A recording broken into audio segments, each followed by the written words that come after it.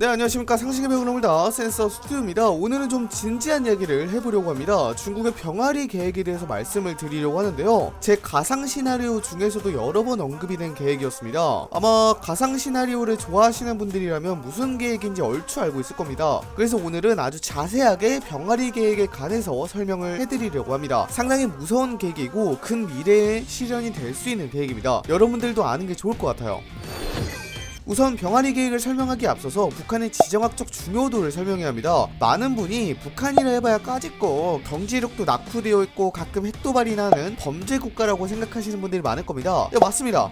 불량한 국가죠. 근데 이 북한의 지정학적 중요도는 날이 가면 갈수록 중요해지고 있습니다. 제일 먼저 위치부터 확인해 볼게요. 한반도 북부에 있어서 해안과 대륙의 중간 지점 역할을 하고 있습니다. 그리고 몇 개를 더 추가해 보겠습니다. 주변국으로는 중국, 러시아, 대한민국, 일본, 미국의 딱 중간 위치에 있고요. 최근 들어서 미국과 중국 간의 패권 싸움이 본격화되기 시작했습니다. 뭔가 보이시지 않으신가요? 미국을 위시한 한국, 일본의 친미 세력과 중국과 러시아의 대륙 세력이 직접적으로 맞붙는 것 같지 않으신가요? 그리고 미국의 대륙 포위망 중 유일한 구멍이 북한이고 중국이 유일하게 동해 태평양으로 나갈 수 있는 구멍이 북한인 것을 고려한다면 북한의 지정학적 중요도는 상상 그 이상이 될 것 같습니다. 그리고 경제적으로 너무나도 낙후되어 있어서 투자가 유치되어 개발이 된다면 엄청난 수익률을 확보해준다는 것도 미국과 중국에는 크나큰 매력으로 느껴졌을 겁니다. 그렇다 보니 중국은 어떻게든 이 북한을 점령하려고 노력했을 겁니다. 여기만 잘 점령한다면 이 북한을 발판 삼아서 미국에 도전을 할 수 있거든요. 그래서 중국은 오래전 부터 북한에 자신의 영향력 아래 주면서 호시탐탐 북한을 노리고 있었죠. 그 계획 중 하나가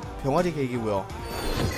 현재 북한은 김정은에 의한 1인 독재체제입니다. 완고한 권력을 가지고 있죠. 중국도 아마 북한의 1인 독재체제에 함부로 덤빌 수는 없을 겁니다. 하지만 김정은의 급사나 쿠데타 같은 급변 사태가 발생한다면 이야기는 달라집니다. 북한 내에서 치열한 권력 투쟁이 발생하겠죠. 항상 역사적으로 절대왕권을 가지고 있던 사람이 급사하게 되면 그 권력을 가지려고 하는 사람들 때문에 치열한 분쟁이 발생하였거든요. 멀리 가지 않고 당장 한국사만 보더라도 그런 사례가 심심찮게 보이죠. 권력은 공백을 허용하지 않거든요. 중국은 중국은 이 상황을 노립니다. 북한이 여러 권력으로 분열이 되어 있을 때 이 급변 사태에 개입하는 것이죠. 북한을 먹으려고요. 명분은 중국인들과 재산을 보호한다는 명분으로 개입을 하게 됩니다. 중국의 북부 정부가 병아리 계획을 수행할 것으로 보이는데요. 랴오닝성 선양의 북부 정부를 직결시켜서 압록강과 두만강을 건너 대동강 이북 지역을 전부 다 점령한다는 계획입니다. 현재 보시는 지도처럼 대동강 이북 지역을 전부 다 점령하는 것이 중국의 계획입니다. 근데 왜 하필 북한 지역 전체가 아니라 대동강 이북일까요? 사실 중국이 원하는 건 북한 전체가 아닙니다.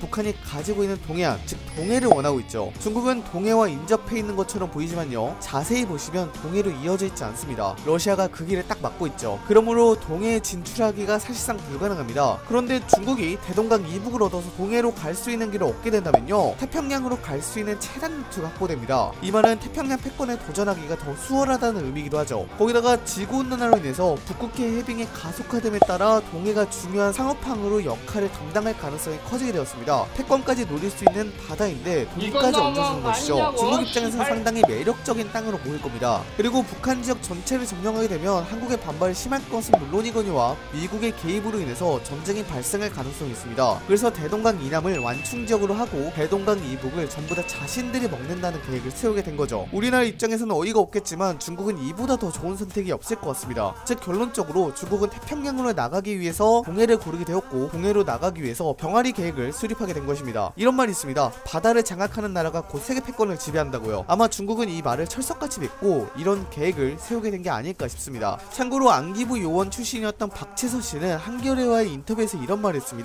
중국은 오래전부터 이 계획을 준비했었고 자국민의 대동강 이남 거주 및 투자를 금지했다. 더해서 하나로 2조 5천억에 달하는 돈을 투입하여 중국군이 북한에 투입하는 것을 수월하게 진행할 수 있도록 도로 공사를 마쳤다. 라고 말했습니다. 이 뜻은 중국이 아주 오래전부터 병아리 계획을 계획했고 이제 실행만 하면 된다는 것이죠. 어쩌면 미중 패권 분쟁의 하이라이트를 찍는 곳이 북한이 될 수도 있겠다라는 생각이 들기도 합니다.